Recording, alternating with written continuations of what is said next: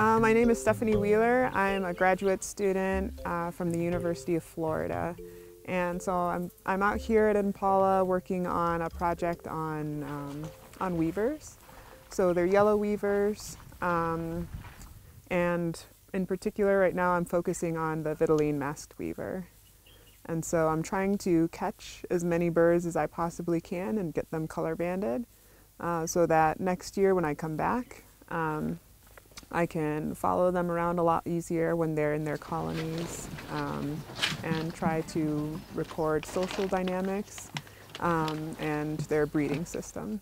Initially, I was interested in looking at how, um, how they may be affected by living near humans um, because a lot of birds, uh, a lot of species within this genus are actually found uh, within really close proximity to, to humans. So um, these guys actually are just here right now um, getting food out of compost, and then a lot of them nest um, like in villages and things like that.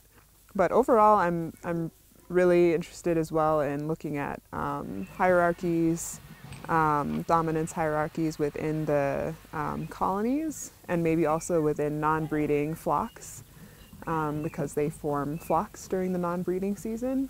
Um, and I'm just kind of interested in looking at uh, a lot of their breeding behavior because a lot of that has, um, has been not well too well documented for some of the species that I'm interested in. After I've caught a bird, um, I uh, prepare like color bands for it and things like that. So the color bands are what helps me um, identify individuals in the field without having to recapture them.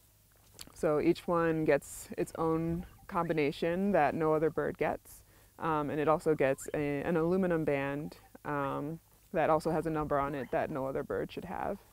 And so um, I give them their color bands and then take measurements like weight, um, the length of the wing and tail, and other things like that.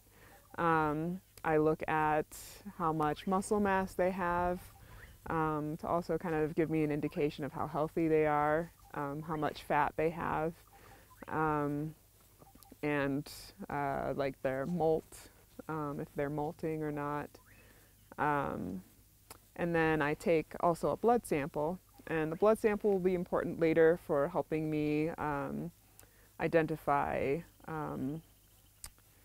uh, paternity. How birds like that are are adapting to live near humans, um, if it's good for them to be near humans, um, and what they're doing and what we can do to maybe make things easier for them or for other species that, um, that are in areas that are going to maybe be inhabited by people later.